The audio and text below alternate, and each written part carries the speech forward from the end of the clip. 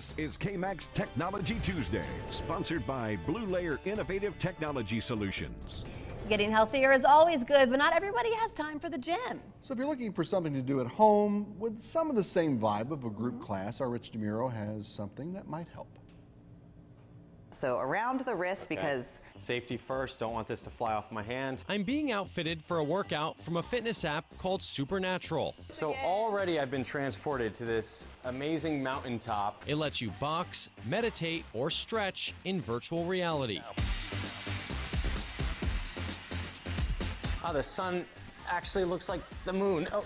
Instead of a bike or treadmill, you use a $300 VR headset called MetaQuest, formerly Oculus, made by the parent company of Facebook. you feel like you are completely present in what you're doing and you're just moving your body to music and kind of playing this sport of the future. Leanne Pedante is a trainer and head of fitness for Supernatural. It absolutely is a very different way to work out and I think this is here to stay. Once you're inside the headset, the real world melts away. I can see the earth and the horizon. I mean, when was the last time you worked out on the moon? Suddenly, you're in an exotic location, like a mountaintop.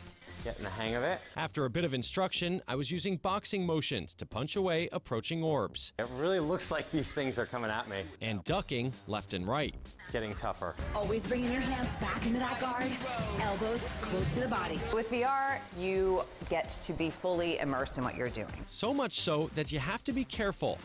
Stay there. I accidentally hit my photographer. He's okay, but I didn't realize he was there. Since you can't see around you, it's best to find an open, safe place to work out. My heart rate's at 120, which means I was getting a little bit of a workout there. While video games are often associated with the couch, VR fitness is a fun and innovative way to get up and move.